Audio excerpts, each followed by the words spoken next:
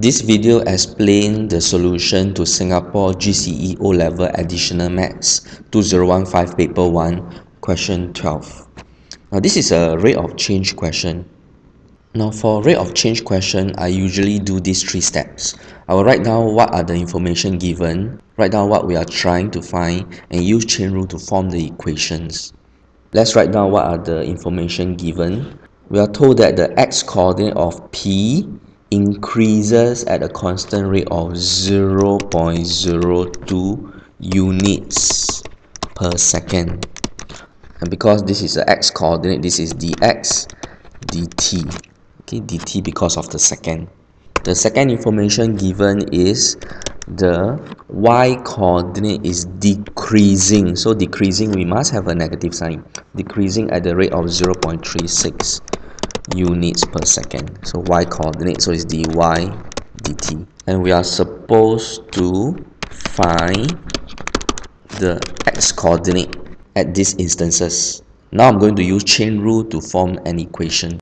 Since I'm given the expression for dy dt my chain rule I would like to start with dy dt. So dy dt equal to dy here multiplied by dt here these two expression here must be the same so that we can get the dy dt and since I know dx dt so I like to put here a x dx here. And here must be dx as well. So this expression is given here. This one is given here. Dy dx I don't know the value or expression for dy dx but I know the expression for y. From y I can just differentiate this respect to x to get an expression for dy dx so now I'm going to find dy dx. Let's differentiate to find dy dx. This is a division, so to differentiate I have to use the quotient rule. I need to square whatever below, then keep then keep the below expression and differentiate the top expression. This is a constant, differentiate constant will give me a 0. Minus away, now I keep the top expression and differentiate this expression here using uh, chain rule. Bring down the power, power minus away 1 and differentiate whatever inside the bracket will give you a 2. We simplified this expression. We can simplify this expression. So this will give us a negative 144 divided by 2x plus 1 power 3. So now I'm going to plug this expression into this equation here, this one into here, and this into here. We got all these numbers. Our aim now is to find the x coordinate.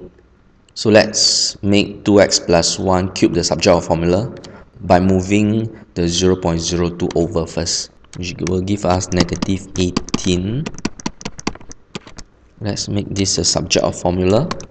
Hence 2x plus 1 to the power of 3 will give us a value of 8 and therefore x will give us a value of 0.5 hence the x coordinate of p is 0.5 at these instances.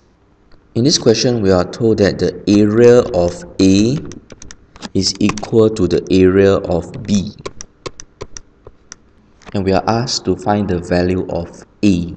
So what we are going to do is we are going to uh, form an equation that equate the two area together and from that equation we're going to find the value of a. So this is the information given again. Area of a what we can do is we are going to integrate the area under this curve from x equal to 1 to x equal to a. So the expression is integrate from 1 to a the equation of this curve is this.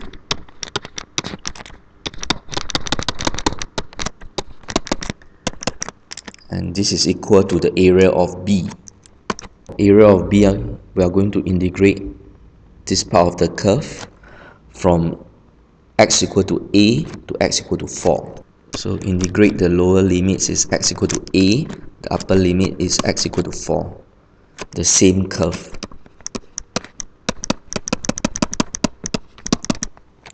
the unknowns are at the limits. So what we need to do is we perform the integration first then after that we substitute the limits. Let's perform the integration by moving 2x plus 1 square up first. So here we get 36 2x plus 1 to the power of negative 2 same here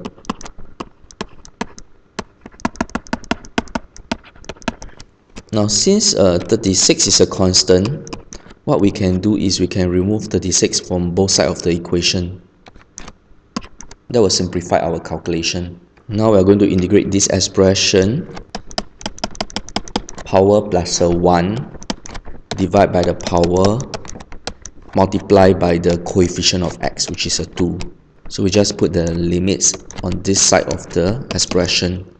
So again integrate this expression will give us the same result. Now the limits is from a to 4 now before we substitute the limits into the x here I would like to simplify this expression.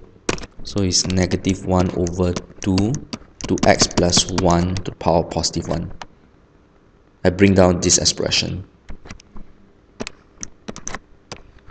The limits will stay so we have the same expression here with the with different limits. To simplify our calculation let's uh, remove the constant. So now is a good time to substitute the a to the x here. We have 1 over 2a plus 1 substitute the 1 to the x here. 1 over 2 plus 1 equal to substitute the 4 to the x here minus away substitute the a to the substitute the a to the x here. We can group these two expressions together. Which will give us 2 over 2a plus 1 equal to let's uh, bring this one over give us 4 over 9 if we solve for a a will give us a value of 1 whole and 3 quarter Please visit this website for more videos.